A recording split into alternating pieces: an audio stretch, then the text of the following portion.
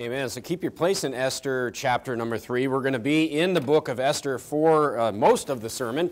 So we're going to have another, um, this morning, we're going to be in the random characters in the Bible um, sermon series.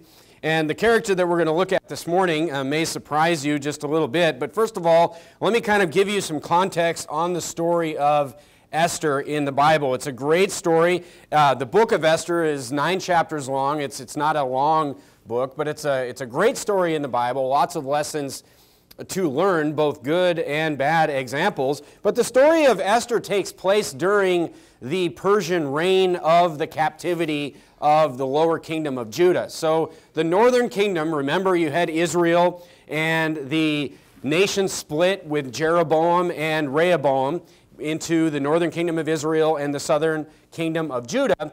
And then um, the northern kingdom was wicked from the beginning, but at this point, when the Babylonian captivity has happened to the lower kingdom of Judah, the northern kingdom has been gone for some 160, 80 years, or whatever it is. So the northern kingdom is already gone. They were taken over, um, kind of wiped out by the Assyrian Empire.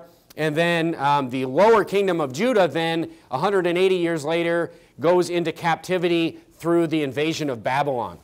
Now, Babylon then, within a few years, is overthrown by the Persian Empire, but the captivity is still happening. So, the king that we're looking at here in Esther chapter number three is the Persian king Ahasuerus, who I believe is King Xerxes. Um, of, you know, if you read history of the Persian Empire, I believe that this is King Xerxes, a very famous uh, king of the, the Persian Empire. But the, Jew, the Jews are in captivity at this point. The, the people of the lower kingdom of Judah are in captivity under the Persian Empire. And what happens is in the first few chapters of Esther, before chapter 3 that we just read, is King Ahasuerus, his wife offends him. He has this wife, her name is Vashti, and she disrespects him in front of other princes, and he goes looking for a new wife. All right, look at verse number 17 of chapter number 2. And he goes, look, he's not, this isn't, again, this isn't detailing what's the right thing to do. It's just what happened, all right? So his wife offends him, she disrespects him, and he goes searching for a new wife. Look at verse number 17. So he goes and he has all these, these ladies to choose from, and Esther is one of these ladies that are, you know, they're, they're being, they're prospects to be the new queen. Okay, look at verse number 17. And the Bible says, And the king loved Esther above all the women, and she obtained grace and favor in his sight more than all the virgins, so that he set the royal crown upon her head and made her queen instead of Vashti. So King Ahasuerus replaces his wife with Esther. She becomes the new queen of the Persian Empire. And in the meantime, this conflict arises that we just read about in chapter number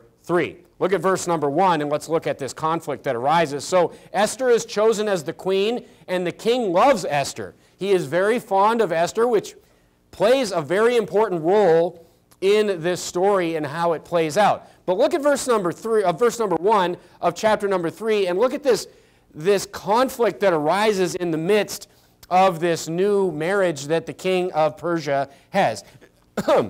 Excuse me. And after these things did King Ahasuerus promote Haman, the son of Hammedatha, the Ag- Agagite, and advanced him and set his seat above all the princes that were with him. So this guy gets promoted to basically number two in the kingdom, this man named Haman.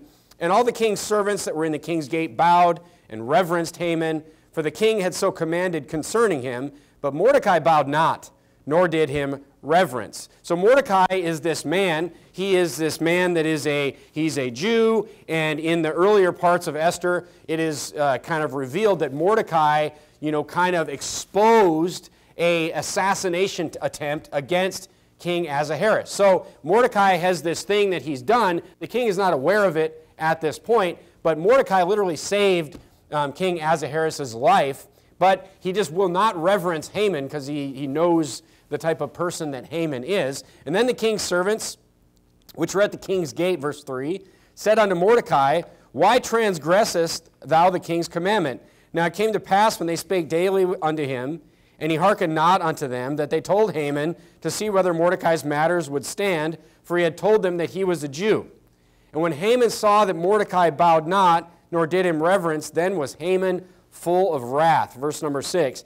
And he thought to scorn to lay hand. He thought scorn to lay hands on Mordecai alone. So he didn't want to just punish Mordecai, for they had showed him the people of Mordecai. Wherefore Haman sought to destroy all the Jews that were throughout the kingdom of Ahasuerus, even the people of Mordecai. So Haman, you know, sets himself up and he sets his heart to destroy not just Mordecai himself, but all of Mordecai's people. He's going to destroy all the Jews that are in captivity under the kingdom of Persia.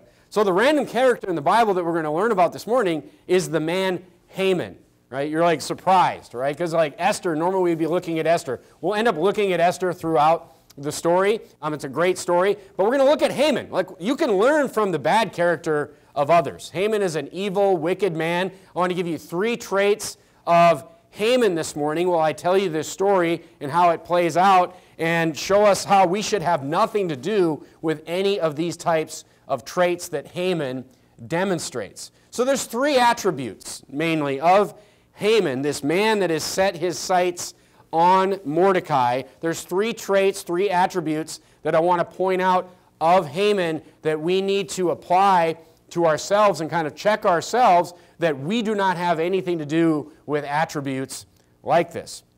Turn to Romans chapter 1. Turn to Romans chapter 1. So Haman is a very wicked and evil person. Just to have this idea that just because somebody disrespects me, I'm not only going to murder them, but I'm going to murder everyone that, you know, it's, it's like some Italian, you know, insults me, so I'm like, we need to wipe all Italians off the face of the earth. This is the level of the wickedness of Haman.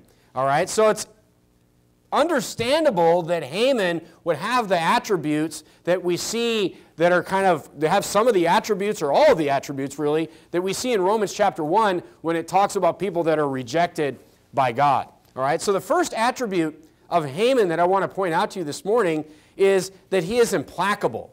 Implacable. What does it mean to be implacable? But look down at Romans chapter 1 in verse number 31. So the Bible calls somebody that is rejected by God, the Bible uses this word implacable to describe somebody who's literally reprobate, literally given up by God. Yes, Romans chapter 1 teaches, and other places in the Bible teach clearly that a person that is still alive can be rejected by God a person that is still breathing on this earth, this is a doctrine that is super important for the times that we live in. This is a doctrine that is super important for the protection of a church, of Jesus Christ Church, a protection of innocent people. This is a doctrine that many people need to understand in order to even be saved. Because many people will look at wicked people that are, you know, will do horrible things to children and other innocent people around the world. They'd be like, how could God, you know, let that happen? How could those people have a chance to go to heaven as well? People like that that are unnatural, people that are, you know, just, they have an ability that other people don't have because the Lord has given them over to those things. It's a very important doctrine in the Bible. But look at down at verse number 31. That's not really the purpose of the sermon. We're talking about being implacable. What does that mean? But I want to point out in verse number 31 of Romans 1 that this is a, a, a characteristic of someone who is reprobate, someone given over, um, given up by God. Without understanding, it says, covenant breakers, without natural affection. Then it talks about men with men, homosexuality, all that is covered here. But then look what it says implacable, unmerciful. So, unplacable means that there is nothing that will ever be good enough. There's no way to appease this type of person.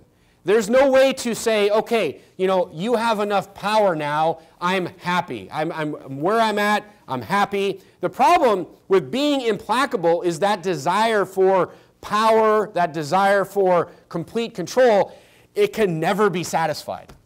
This is what it means to be implacable. And this was the man Haman. This was Haman. Haman Haman was number two in the kingdom. There was literally nobody except the king himself who had more power than Haman. Yet what? It was not good enough. There was one person, there was one person who had no power over Haman. There was one man that would simply not give him reverence, and it was, it was just not good enough, the power that he had. He had to have complete power over everyone. He was an implacable person. Now, look, turn to Ecclesiastes chapter 2. A lighter form of this, a lighter form of being implacable, is being a person that can just never have enough things. A person that can never have enough, you know, whether it be whatever worldly desire it is, somebody that always wants more and more and more. This is a lighter form of implacable. And this is why the book of Ecclesiastes was written by Solomon, was to warn Christians against this type of trait, of this, this idea that, you know, just he's, Solomon is warning us. He's saying, if you pursue all these worldly things, it will never be enough for you. Look at Ecclesiastes chapter 2. This is why Solomon is such a great example for us. So, you know, Haman is a wicked person that is implacable, but this type of trait can infect a Christian as well. Look at Ecclesiastes chapter 2 and look at verse number 9. Solomon, an older Solomon, warns us of this in the book of Ecclesiastes. In verse number 9, Solomon says this He says, So I was great and increased more than all that were before me in Jerusalem also my wisdom remained with me. That I had more than everybody, and I knew more than everybody. And whatsoever mine eyes desired, I kept not from them. I withheld not my heart from any joy, for my heart rejoiced in all my labor. And this was the portion of all my labor. Then I looked at all the works that my hand had wrought, and on the labor that I had labored to do. Behold, all was vanity and vexation of spirit, and there was no profit under the sun. And I turned myself to behold wisdom and madness and folly. For what can the man do that cometh after the king, even that which hath already been done? He's saying here, Solomon is saying, he's like, I had everything, I knew everything, I did everything.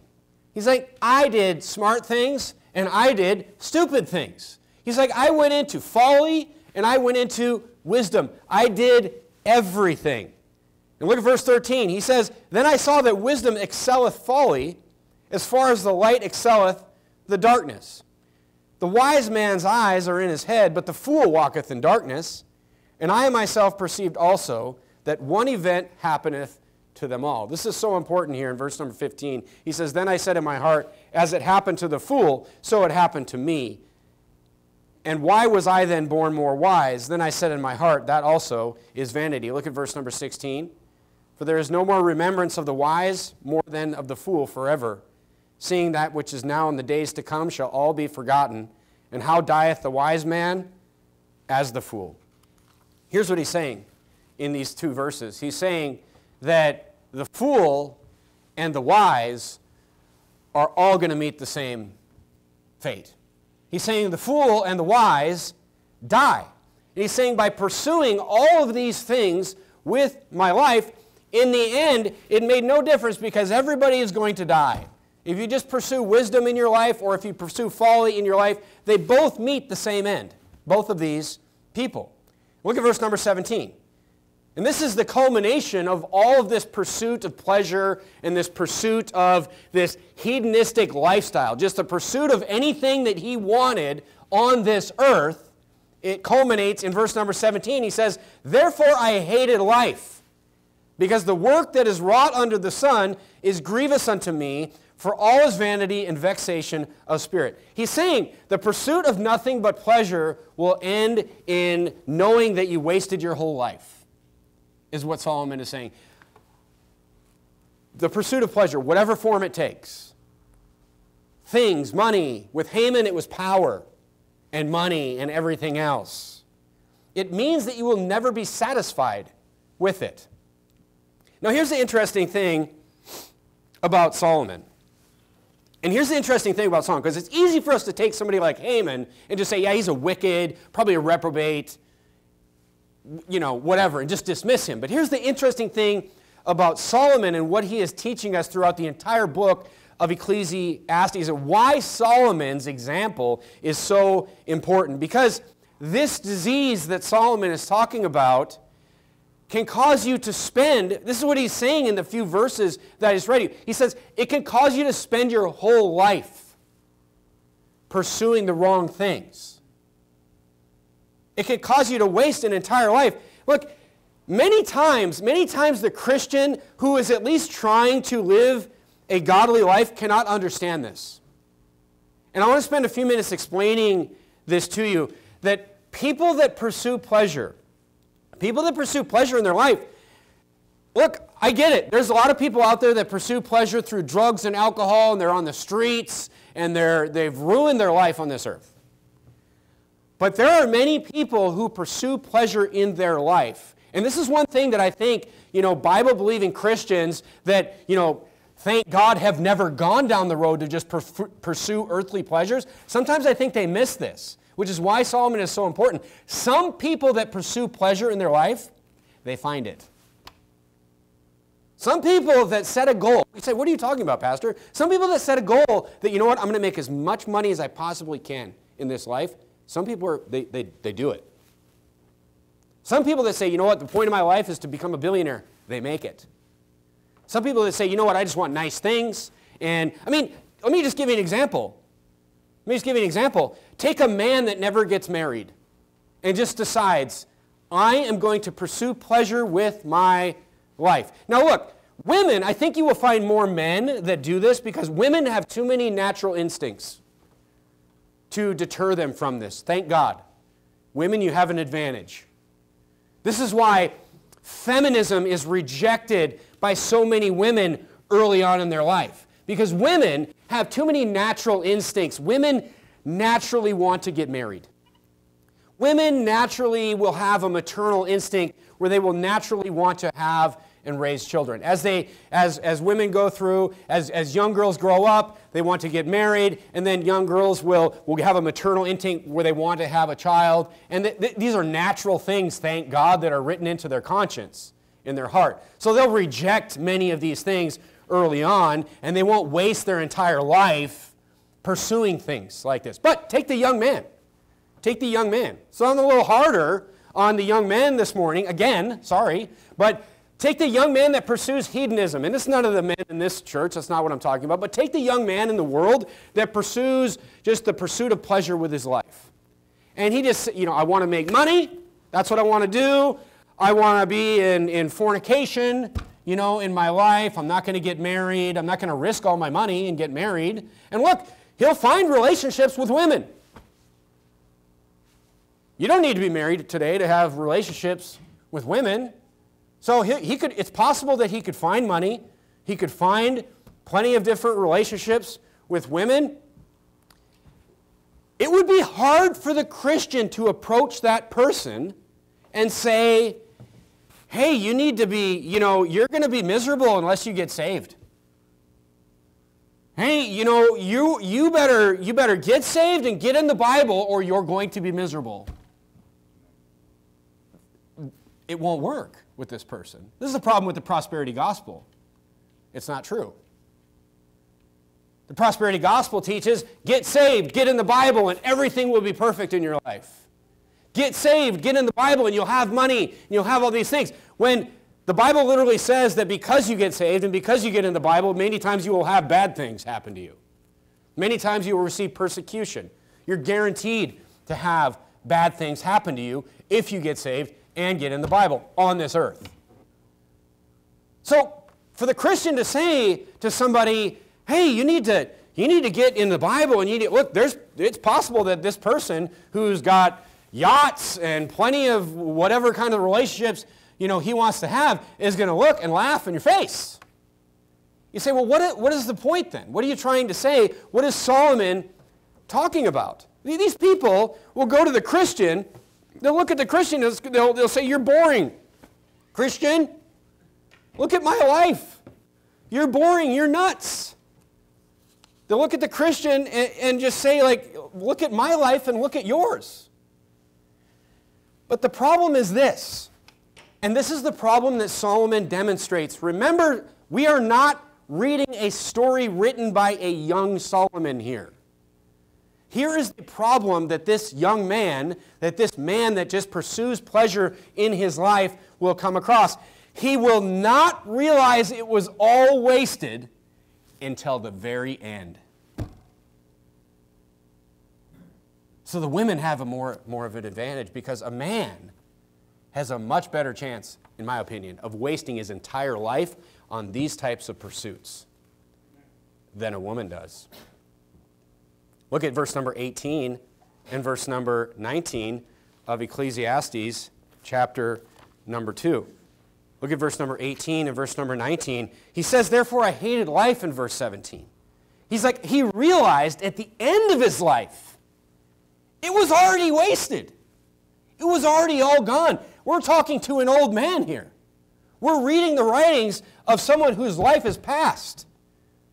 And look what he says in verse 18. He says, Yea, I hated all my labor which I had taken under the sun. It's over. His labor is over. Because I should leave it unto the man that shall be after me. And who knoweth whether he shall be wise, a wise man or a fool? That person that pursues pleasure may laugh at the Christian in their life, but at the end of their life, all the yachts and the houses and the whatever else that they pursued, they're going to leave it to a bunch of people they don't even know. That's what Solomon is saying. He's like, you're just going to give all this stuff you've accumulated, you've wasted your actual life, and all this is just going to be inherited by who knows? Maybe they're good people, maybe they're fools. But it doesn't even make any difference because you're, you're coming to your end, is what Solomon is saying. This is the power of Solomon's story. He is warning people against an entire wasted life. And look, Christians can do that. Christians could pursue the wrong things their entire life. And yeah, you know, a Christian on his deathbed is at least is looking forward to heaven. But he can look, he's going to look back on his entire life that he lived on this earth, and he's going to realize it was, a, it was all wasted. And even the things that people are going to inherit from him is, is vanity, meaning worthless. It's all worthless. Look at Ecclesiastes chapter 5 and look at verse number 10. So, pleasure can't be the goal. Pleasure can't be the goal because if you have pleasure as the goal, remember what Solomon said in verse number 17. Look, he won. He won the keeping up with the Joneses game. He won. He beat everybody. And I hated life. He hated life. At some point, he got to the point where he's like, it was all a waste of time. It was all worthless. Look at verse number 10 of Ecclesiastes chapter 5. So pleasure can't be the goal. You say, Pastor, can I never have good things happen to me? Can I never have a nice car? Can I never live in a house? I mean, that's not what I'm saying. Pleasure can't be the goal, it's just a blessing along the way. Verse number 10, it says, He that loveth silver should not be satisfied with silver. It's kind of like a, it's kind of like a, a, a, a, rule of God that He puts on us to make sure that we don't have pleasure as the main goal, that we don't have money as the main goal. If you love money and it's your main goal, it will never satisfy you. It will never be enough. Nor he that loveth abundeth with increase. This is also vanity. Pleasure can't be the goal, it's just a byproduct. It's just a byproduct, but it can't be the main thing ever. That's the key. Because God will not allow it to fill the void in your life. That's what God is saying. That's what Solomon is teaching us through the Holy Spirit is that if you pursue the wrong things, they will never fill the void for you as a Christian. And at the end of your life, you will realize at that point, even if you were blinded by the pleasure of the moment, even if you were blinded in sin for decades and decades and decades, even if it blinded you throughout your whole life, at the very end, you will realize it was all a waste. What a terrible feeling that would be. What a terrible feeling in the last five minutes of your life to look back on your life, to be sitting there and, and alone. Alone and knowing that all of my children who are fools, because I pursued these things and didn't pursue their spiritual inheritance that I should have been pursuing for them, All my children are fools. They're going to inherit all these things that I've set my goals on and set my life on, and it's just going to help them become more fools. What a terrible feeling. And there's nothing you can do to, to change it at that point. It's a byproduct. Pleasure and blessings is a byproduct of living the Christian life. It is a blessing God will give us. You know, sometimes He won't give us those. Sometimes the Christian life may be suffering, but you will have pleasure in your Christian life if you do things God's way, but can never be the main thing. So that's the first thing with Haman is he shows us just this, this implacable attribute that we want to have nothing, even a little bit, to do with. All right, we'll go back to Esther chapter 3 and look at verse number 1. Go back to Esther chapter 3. Talking about Haman this morning, this man who is the number two under King Ahasuerus, who's Esther's husband who is trying to destroy all the Jews. But the second attribute of Haman that we want to have nothing to do with was Haman, surprisingly, was insecure. He was an insecure person. Look at verse number one. After these things did King Ahasuerus promote Haman, the son of Hammedatha, the Agagite, and advanced him and set his seat above all the princes that were with him. Think of it. How could Mordecai possibly threaten this man? How could this man possibly be threatened by some nobody?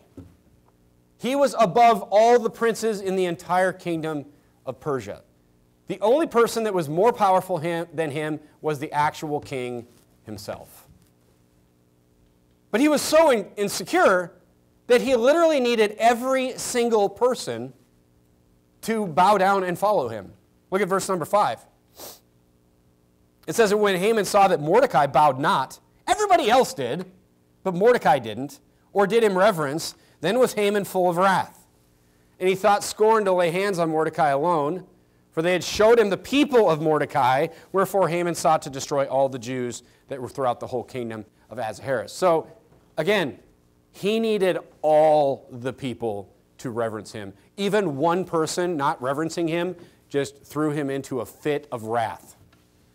He was super insecure in his position. But look, first of all, I mean, I've just preached on this, so I'm not going to dwell on this one for more than 30 seconds. But the first thing here uh, on being an insecure person is we should not desire the attention of all people.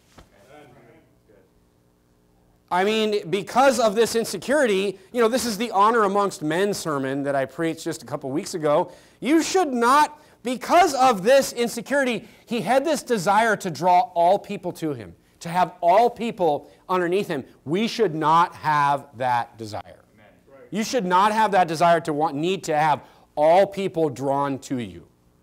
This is a very bad thing. Because look, not all people are good. I mean, really is what it comes down to. Who would want to draw evil people to them? Just that, this, to have this attitude that we need to have all people drawn onto us is bad. Look, if you're doing the right things, you're following the Bible, and you're living the way the Lord wants you to live, the right people will want to be around you. Period. But here's the second thing. Look at verse number 8. So he had this desire to draw all people unto him, to get all people underneath him. The, way, the problem with wanting to have all people drawn to you and all, have all people approve of you and just be underneath you like Haman did is that it's always done through manipulation. Haman didn't go to the king and he's like, listen, there's this guy who's giving me trouble. Look what he does in verse number 8. It's always done. People that have this desire to have all people uh, you know, around them, underneath them, agree with them, they always use manipulation to try to get, because look, you have to. You would have to. If you wanted literally everyone to be drawn unto you, you would have to tell this group of people one thing and this group of people another thing. Because there's good people and there's bad people. Look at verse number 8. Haman said to King Ahasuerus, There's a certain people scattered abroad and dispersed among the people in all the provinces of thy kingdom, and their laws are diverse from all people. So he's already thrown a little shade there, right? He's like, there's these people in your kingdom, and their laws are, he's saying their laws are, they're diverse, meaning they're different than yours. He's just kind of throwing shade on the, on the Jews here. Neither keep they the king's laws. He's like, yeah, they're diverse from yours, and they're also against yours. And then look at verse, uh, the next part of the verse. Therefore, it is not for the king's profit to suffer them. He's like, these people are bad for you. He just like, in that, in that one verse, he, get, he goes from bad to worse to worse as far as his, his slander against the Jews. Look at verse number 9. Then look at this. If it please the king, let it be written that they may be destroyed. And I will pay ten thousands of talents of silver to the hands of those that have the charge of the business to bring it into the king's treasury. So look what he does here. He, just, he doesn't use honesty. He doesn't say, listen, there's this one guy that doesn't show me reverence like everybody else, and my ego is hurt, and I'm super insecure. And like, it's just like, I mean, I know I'm the second in command of the kingdom, but this guy just like, he makes me so angry. That's who he is, though. That's who he is. Instead, he's like, King, King, there's a problem, and I, I'm trying to help you to the king. I'm doing you a favor, king. And then he uses then he uses flattery as all people that manipulate try to do. They use flattery. If it please the king, flatters the king. Look, the king should have asked more questions here. All right? I mean, this is how you find this is how you find and I use this term loosely, but this is how you find good leaders surrounded by bad people. And you'll find that.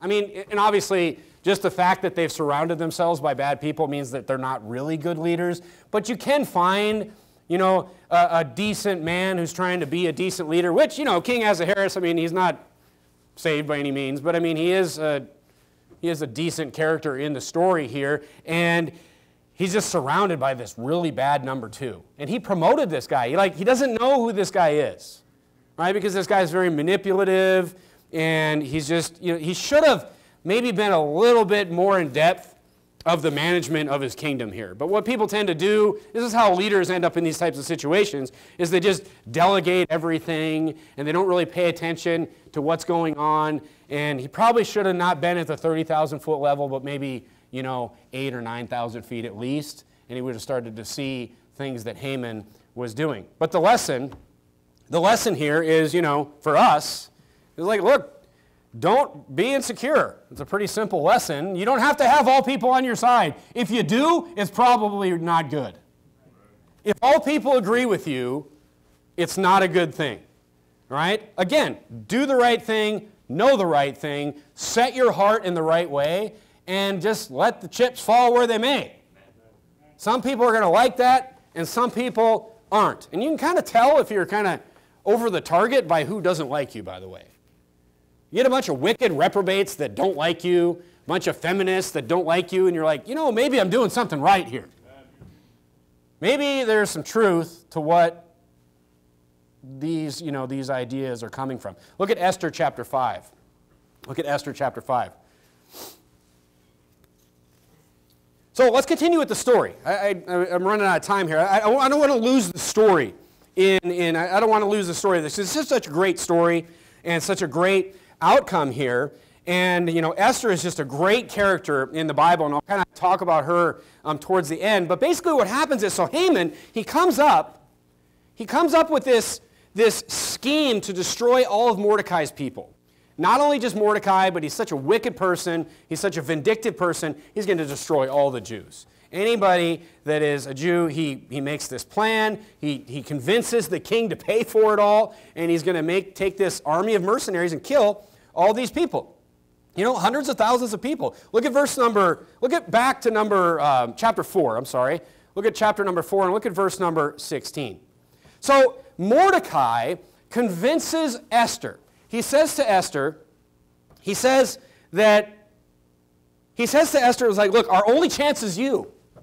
You know, Mordecai's like, we have one of our people that's the queen. He's like, we need you to go and talk to the king and expose this conspiracy to the king. But Esther explains to, um, she explains to Mordecai, this is dangerous. You don't just walk into the king. You don't just, it's against the law to walk into the king. And the, the law was this. I'm just kind of paraphrasing the next couple chapters after chapter 3. But she explains that if somebody goes into the king without an appointment, if they don't make an outlook appointment with King Ahasuerus, and, and he, he doesn't want them, he, they, you just walk in to see him in the garden where he's at, and he doesn't hold out his scepter for you to touch the scepter, you're executed. So it's like if you make an appointment with this boss and he doesn't really want to see you at that moment, you're dead. And Esther's explaining this to Mordecai. She's like, well, you know, this isn't like, you know, you don't just walk in and see this person. This isn't like the, the free cell phone person out, up on the street here. It's like you walk in and see this guy and he doesn't want to see you, you're dead. And then Mordecai in chapter number four, he kind of encourages Esther. He encourages Esther to save her people, to step up and save her people, which she does. But look at verse number 4, or verse number 16 of chapter number 4. So Esther is going to go into the king, and she's going to ask him if she can have a banquet with her and Haman. And she says to Mordecai, Go gather all the Jews that are present in Shushan and fast for me, and neither eat nor drink three days, night or day. Also, I also and my maidens will fast likewise, and so will I go into the king. See, it's a big deal. She's like, go and pray for me. So obviously, the king has executed people before. This is not something that's like, oh, it's just never happened. It's probably not going to happen. She's pretty sure she's going to get executed, is what it sounds like here. She's like, go have all the Jews fast for me that are in the city. I'm going to fast. My maidens are going to fast. And she says, I will go in unto the king, which is not according to the law. And if I perish, I perish. So Mordecai kind of encourages her to actually do it. And she's like, well, go pray for me. Pray for me, and I'll do it. Now go to Esther chapter 5. But remember the verse that I showed you in chapter number two, I believe it was, where the king loved her. The king loved her. So she goes into the king, and right away he offers her the scepter. Right away, he, he loves Esther. He is very affectionate towards his new wife, and he's not going to execute his new wife. And it, and it works out well, and she has the banquet. She has the banquet. Now look at verse number 7 of chapter number 5. So now we're into the banquet. Now we're into the banquet. It says, Then Esther, then answered Esther. So he basically says to her, What do you want? What, what, what can I do for you? You know, he's not going to execute her. Things are working out. She says, My petition and request is this, is, if I have found favor in the sight of the king, notice how just respectful she speaks to him, and if it please the king to grant my petition and to perform my request, let the king and Haman come to the banquet that I shall prepare for them. And I will do it tomorrow as the king hath said. Then went Haman forth that day joyful with a glad heart. But when Haman saw Mordecai in the king's gate, that he stood not up nor moved for him, he was full of indig indignation against Mordecai. So Esther is very smart, too. She's very smart. She doesn't go into the king and just expose everything right away. She goes into the king and she says, I just want to give a banquet for you and for Haman. So that will give her the audience of the people that she really needs um, to talk to. And then again, Haman hates Mordecai. We see more of that. Look at verse 10. Nevertheless, Haman refrained himself, and when he came home, he sent and called for his friends and Zeresh, his wife. So now I'm going to give you the third aspect of Haman that we all need to avoid, like the plague in our lives. Haman was very vain, meaning he was very self focused. He was a person that just loved to just brag about everything that he had. So Haman gets invited by Esther. He doesn't know what's going on. He gets invited, he doesn't even know that Esther's a Jew. He gets invited by Esther to this banquet, and he just right away invites all his friends over. Why? Because he wants to feed his friends? Because he wants to do something good for his friends? No, so he can just brag about everything that makes him great. Look at this in verse number 11. And Haman told them of the glory of his riches and the multitude of his children and all the things wherein the king had promoted him and how he had advanced him above all the princes and the servants of the king. Can't you just see this guy? Can't you just see this type of guy? You ever met this type of guy before? Just like, it's just, and look, I, lo- I don't want anyone to get me wrong here. Like, I love hearing about your, your work weeks. I love hearing about the successes that you have in your life. There is no one in this church like this, okay? But this guy is just all about his own glory literally invites people over to his house just so he can just be like, look at how rich I am. Look at what the king did for me. And just like on and on and on. He just gloried in vain things. In Ecclesiastes 2.15, again, you know, Solomon tells us, as it happened to the fool, so even it happened to me. This is the, the fool here that we're looking at. He's just glorying in everything, in all of these vain things. In his wealth, in his children, in his position that the king has given him. Look, it's not enough that he has these things. He just has to, like, shove them, and they, they define who he is. Because that was his pleasure in his life, just trying to constantly heap attention on himself. Why? Because he's insecure. Because he's insecure. And the, the insecurity and the implacability are both showing right here as he just is vain and just, I mean, this is like, to me, like, and look, I'm not against you if you're on Facebook either, okay? But like, you see these people on Facebook. You see these type of people on Facebook where like nothing can happen to you in your life that doesn't have to go on, that, that can't go, that it must go on Facebook. You know, just like glorying and look at all, everything that I've, my wealth, look at my, I mean, how many times have you seen these people on Facebook that like they have these, I don't know, maybe not even Facebook, but other kinds of accounts where it looks like they have like this perfect life and then like they all murder each other or something like that. You know, and you're like, what? Like she was like a parenting expert and then like, you know, it's like murder suicide times 10 or whatever. I mean, it's such a common story. It's not funny, it's sad. But the point is, like, all of these blessings in your life are just not there for you to heap glory upon yourself. And that's what Haman was doing, all right? And look, here's another thing. Like, the, the Facebook thing, like, I deleted the app off my phone because it was so annoying. Just like all these, these notifications. All like, Facebook friends are not your friends. Do you know that?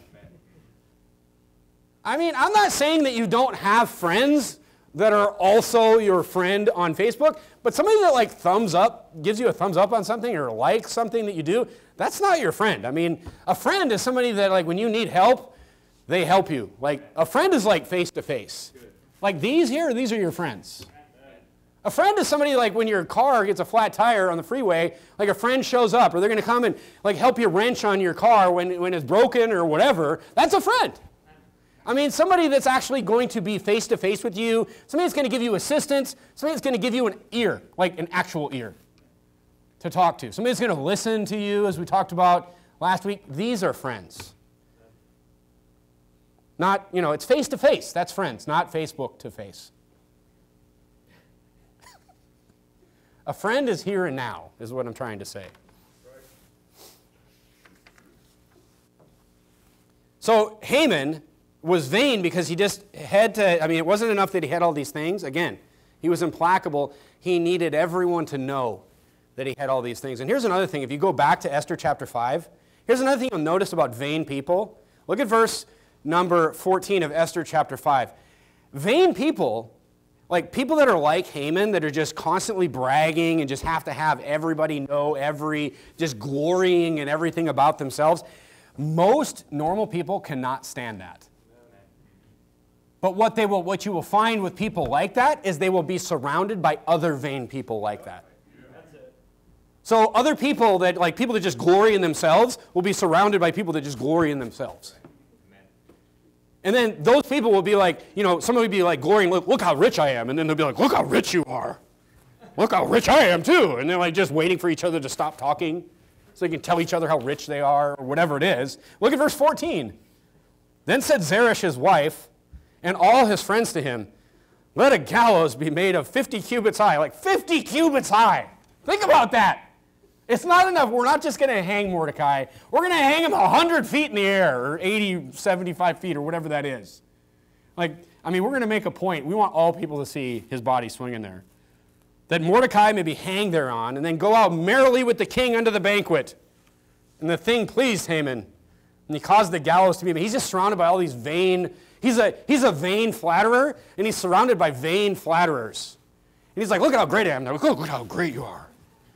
Look at how horrible Mordecai is. He is horrible. Hang him way up in the sky. Just, they, they just, this is, ugh, ugh. Amen. So here's the lessons for us. Mordecai is implacable. He is a very deceiving person. He, you know, we have to understand that if pleasure is our pursuit, there will be nothing there at the end. That's the key thing to take away from there. Vanity. Vanity means two things actually in the Bible. It actually really means just one thing, but vanity means, it can mean worthless or self focused. But the Bible really teaches that self focused equals worthless. So when you read vanity in the Bible, Solomon is really talking about things that were just worthless. They were worthless pursuits, but they were pursuits that were self focused only on his desires. So that is what made them worthless. So that is another uh, lesson for us is just be careful about vanity. Be careful about things that, that just focus on ourselves. Again, New Year's resolutions. All New Year's resolutions by people, for some reason, are self focused. They're never focused on other people, helping other people, spending your life towards other people. And we'll talk about that in just a couple minutes as we end. But how did, how did uh, Haman end? Turn to Esther chapter 7. Let's look at the end of this story and see what we can take away from this. Look at Esther chapter 7. Look at verse number 2. So he has this plan to hang Mordecai. He's building this massive gallows, this, this gallows that's never been, you know, it's the it's the tower, right? He's building this huge tower to hang this man. And then Esther has the banquet. Look at verse number two. It says, in the king, so they're at the banquet, and the king said unto Esther on the second day at the banquet of wine, What is thy petition, Queen Esther? And it shall be granted thee. And what is thy request? And it shall be performed, even to half the kingdom. Then Esther the queen answered and said, If I have found favor in thy sight. So she is such a smart, and virtuous lady here. What does she do? She just makes this banquet for her king, and just, what does she do? She just draws his heart closer to him. She just shows affection towards him and just does a nice thing for him. And then, you know, she, then she asks him the question. She's kind of buttering him up, I guess is what you could say. She's just, she's asking him something after she's done. This is why, you know, if you want to like pray to God, if you want to pray to God and request something, maybe you should be right with God. I don't know. Just an idea. Instead of just being this disobedient child, you know, go and just ruin everything that your parents have in the house and then be like, hey, you know, mom and dad, can I have a, a donut or some ice cream after you've destroyed the entire house? Probably no is going to be the answer. So Esther is being a good wife. She's being affectionate towards her husband, and then she asks him. Literally, she didn't even have to go up to him and just say this. He's like, What do you want? I'll give you anything. He's like, Whatever you want, I will give it to you. What is it? And she answered and said, If I found favor in thy sight, O king, and if it please the king, let my life be given me at my petition, and my people at my request. She's saying, Don't take away my life. And can you imagine his face at that? She's like, Please don't kill me. And he's like, What are you talking about? For if we are sold, I and my people, to be destroyed, to be slain, uh, I'm sorry, she says, and my people at my request, for we are sold, and I and my people to be destroyed, to be slain and to perish. But then look what she says here. She says, We've been sold for bondmen or bondwomen. I had held my tongue, although the enemy could not countervail the king's damage. She's saying, if we had just been sold, she's like, I've been sold for death. I've been marked for death, and all my people have been marked for death. She said, if I had been, she's such a great way of saying things. If I had been marked only for slavery, she says, or servitude, I would not have even said anything to you. But she says, I've been marked for death. Look at verse number, um, verse number five. You can imagine how surprised the king is at this point. Then said, then the king as a Ahasuerus answered and said unto Esther the queen, Who is he? And where is he? He's like, Where is he? Let me find him. It's like someone's threatening your wife. It's like any man should have this, this, uh, this reaction, right? Your wife comes to you and be like, Someone's threatening my life. Where is he? Where's he at? Let me at him, is what the king is saying. That durst presume in his heart to do so. Who is the man that would even think about laying a hand on my wife, is what this guy, what the king is saying. And Esther said, the adversary, this is why she invited Haman to the party. The adversary and enemy is this wicked Haman, she says. Then Haman was afraid before the king and the queen, you think? And the king, arising from the banquet of wine in his wrath, went into the palace garden. He just goes to cool off. He's just like, oh, can't you just see it? He's just, he's, he's, Haman stood up to make request, and Haman, so the king leaves in wrath. And then Haman just starts begging Esther for his life. for he saw that there was evil determined against him by the king. Then the king returned out of the palace garden into the place of the banquet of wine, and Haman was fallen upon the bed where Esther was. So Esther was laying on this, uh, you know, it's probably one of these day beds, is what I'm picturing it. And she's, you know, on this thing, and, and Haman is just bowed down onto this bed, begging for his life. And the king, the king says this. He said, he said to the, then said the king, Will he force the queen also before me in the house? He's like, what is he trying to do? Like, have his way with my wife now? As the word went out of the king's mouth, they covered Haman's, and right away, the men, uh, the men that work for the king, they don't, even, they don't need to hear anything else. They just grab him and they just tear him away. And Harbonah, one of the chamberlains, said before the king, Behold, also the gallows, 50 cubits high, which Haman had made for Mordecai, who spoke good for the king, standeth in the house of Haman. He built it in his backyard. mean, then the king said, Hang him thereon. So, who ends up swinging from the gallows, the tower? This is such a great story. Haman himself, he was destroyed literally of his own device. Such a great story in the Bible. Why do we study? Why do we study Haman? You say, why have a random characters in the Bible about Haman?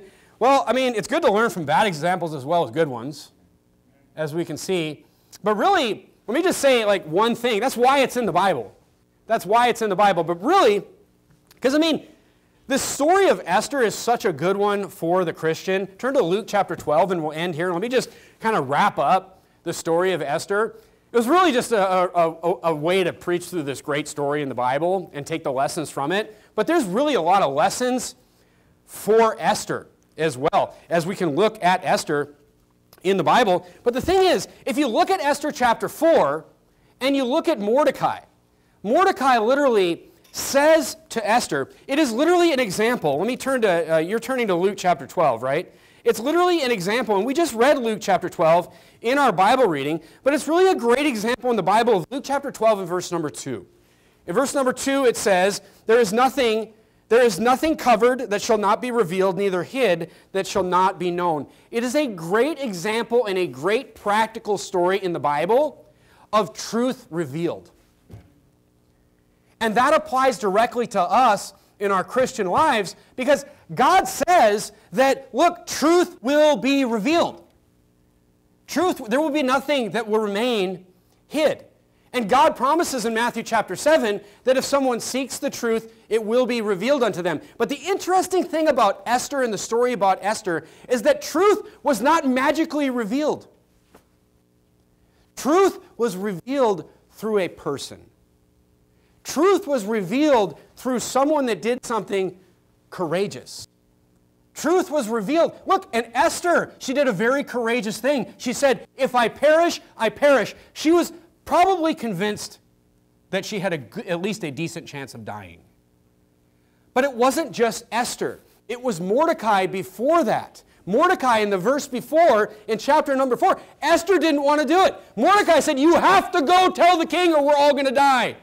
And she says, I can't go tell the king. He'll just kill me. And he says, This is why you were born. He tells her, How would you know that, you know, this, I, I can't remember the exact wording, he says, You've been born for such a time as this. This is the purpose of your life, is to reveal this truth. And the interesting thing is, is that God expects his truth of the Bible to be revealed, but it's not going to be magically revealed. So Mordecai encourages Esther to go out and reveal this truth. And she, is a, she gets the courage up, she prays to God, and she goes, she does it, and she saves the entire nation. One person by revealing that truth. God gives us the same command. God says in Matthew 7 that if someone is, if someone is seeking, they will find. But they're not going to magically find. They are not going to, if somebody is seeking the truth, God is not going to have a Bible fly down from heaven and hit them so hard that they just get the gospel injected into them. God expects someone to go to them to reveal that truth. And that's why we are born for such a time as this, to find the people that are seeking truth. So that's the, the parallel of this great story of Esther. You have a Christian that was doing what they were supposed to do, and truth was revealed. And that's us. We're going to go out this year, we're going to do what we're supposed to do, and we're going to reveal truth. Not magically through our feet and through God's Word. And that's exactly why Esther is in the Bible. Let's bow our heads and have a word of prayer.